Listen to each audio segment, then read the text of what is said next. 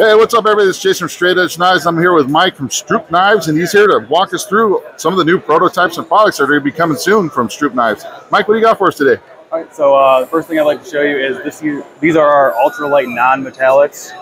Um, there's not one bit of metal anywhere on there. Um, you know, uh, injection molded Zytel uh, blades, Kydex sheath, no metal anywhere um, on that hardware. Uh, so those are plastic bolts and screws? Yes. You know, they offer good retention, but they're also easy to draw when needed. Um, next thing uh, I'd like to show you is our new uh, Mark II knife that we're that we just put out. We uh, unveiled this here at SHOT Show. Um, it's a rubber G10 hybrid grip. So the wetter it gets, the more grippy it gets. Nice hook there for your pinky, so it's not going to get lost on you whenever you're using it.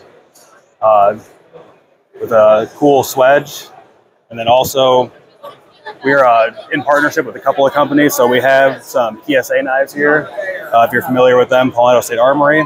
These are a couple knives that we make for them, so we can make knives for you and your business if that's, that's something you're interested in. Okay. And then also Faro Concept, who has the booth right next to us. These are a couple knives that we're making for them right now. Awesome. So So are those available? Like, so these are are These- these available now at Palmetto State Armory? yes, they are. So they're available through Palmetto State and through Faro Concepts. We don't actually sell these knives. Um, the rest of our stuff is on this table. Okay. And then we have all of our flagship models, as well as we're now offering wood handles for all of our all of our models. So this is probably our uh, best-selling model, our Bravo Five, Oh, nice. and then now we're doing all wood handles for everything. Then, So when they whenever they go to order a knife, that that that option's available. You can choose your Yes. handle still. So choose their material, uh, whether it be wood, G10, um, whatever we offer for that particular knife, and then we're also offering some rescue tools. So we have a nice prying edge here, uh, belt cutter, and everything you see is done by hand in house by us. Uh, every sheath is pressed to the blade that goes in it, and then we offer Tek-Lok belt clips okay, awesome. for everybody, depending on how you like to carry your uh, blades. And then we also offer a serrated version of the same product. Awesome. So on the on your blades, there are they they they're probably water jet. Are they water jet cut it out? But then when they Yeah. come to you guys, you're putting all the bevels and Yeah, so initial grinds and everything on. they're water jet cuts to our specifications, and everything you see beyond that point is done in house by hand by us. We heat treat them, we grind every bevel, we texture all the blades that you. So everything you see texture wise is done by us. Yeah, that's And- kind of like your guys' signature look. Is that Yeah, all of our stuff we texture for the most part, um, except for this new knife. But other than that, all of our stuff is pretty much textured. But even even with this one, I would I would just at a first glance, I would and after seeing your guys' products at Blade Show West and here, I would go, that's a shoot knife. You know, like Yeah.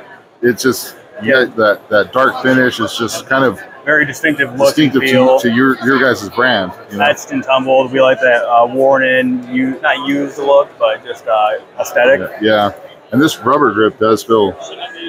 That, that's that's really my favorite thing that we make now. And I got I wear XL glove hands like, and this thing fits my hand perfect. Like Yeah, we're uh, we're trying to make products that everybody can use. Yeah, then we have some uh, bigger options down on this side of the table. yeah. So you know, like our BK1, a couple pry tools, and then I would, one of our more popular items So that's our ultra is our SD1, it's our stabber dagger. You know, same deal with the texturing, Uh, bevels ground. Yeah, spider no. and, and so it's got a chisel chisel ground edge. Yeah, chisel ground edge. You can't carry a knife for And and carry that's- heavy gun. Nice. Right. One of the most Uh, popular things we're doing right now. non-metallic And then the you got the little pry tool. And then we offer a pry tool in a narrow and a wide variety, so it's a little bit bigger for whatever you need it for. And these are great because they, they sit on a kit well. We sell MOLLE webbing um, clips as well, so not just the tech locks, uh, street carry clips. So depending on how you want to carry our products, uh, we have something for you. Out of curiosity, are those TSA legal? Do you know? 'Cause I know, like on TSA, like with flying, you can carry screwdrivers and things like that, but I think they have to be under seven inches. Would uh would the pry tool be TSA legal for flying? I know there's like you can carry tools, but I'm, I'm curious. I would check with the TSA website because, um, you know, other companies will make. Uh, Leatherman has a, almost a rebar without the blade, and it's legal. for this, I think it might be questionable. Questionable. But Do you want to risk losing a hundred and something dollar tool at the TSA? So, I would I would recommend, you know, you can always get like one of those multi tools, Yeah. or even uh, you know, bring your flashlight, and all that. Yeah. No, it's just question. You know, I know a lot of guys are looking at pry tools and stuff now, stuff that they can carry, you know, on planes and things like that. So, You know, better safe than you know, sorry. you know, you know, you got to seatbelt gets stuck. You got to be able to get that thing open, jump out of the plane, right? You know. Yeah, of So- course. So a few more of our offerings. Like I showed you, the Saber Dagger. This is our Desert Box. Uh, pretty popular model. Anytime we take it anywhere, we sell out of it. Oh, yeah. Yeah. yeah Uh, um, that's- you didn't that's have per- any of these at Blade Show West. Oh, probably. And then now, I mean, we bring them everywhere. Um, this is personally what I carry. It's my favorite model that we make. Um, so I'm scout carrying that at the moment. But then we have all of our other uh, regular flagship kind of uh, production models that people are very familiar with. We've had a lot of people come by and tell us Yeah, You I did a review on the T1. Um, I have a review on that on my channel. Then I have a review of the GP3 on my channel as well. Yeah. How do you like the wood handle? Well, the wood handle is nice. Like if that would have been an option when I bought mine, I probably would have got it, but Yeah. but that wasn't uh, available at the time. Yeah. That's uh, it's, it's becoming a favorite. Uh, everyone that sees it, you know, they, they want to buy one. So Yeah. we, we like to give people options. No, will the will the wood handle skills be like an option you can buy after the fact? Like, Um, like could I go online and order a set for my GP3? Just send 'em- no, but you could send us your knife and we can make it happen. okay, because they're pretty much shaped to the blade. They're made specific, specifically for the knife they go on. So it'd be, but we that's something we can make happen for you. Oh, We like to, you know, we pride ourselves on our customer service. Yeah, So That's it's always an option. Everything's made in the USA, obviously. Oh, yeah, I'll reach out to Veteran-owned company, right? Yeah. So, Absolutely. awesome. It's good to meet you. Sorry. Yeah, that's a lot of great stuff, guys. Guys, definitely go over and check out stroupknives.com. I'll have a link in the description below to the website.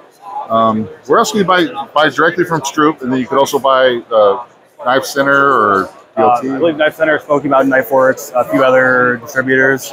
Um, Rambo's the guy for that. Uh, Oh, if you have those questions, but, I'll, I'll find out and I'll leave links. but, but I'll leave links in the description below. you search for us, you'll find us. We're not hard to Yeah. find. Cool, awesome, Mike. Well, thank you. I appreciate you taking the time to show us the new products. Oh, there is one thing you forgot to show us.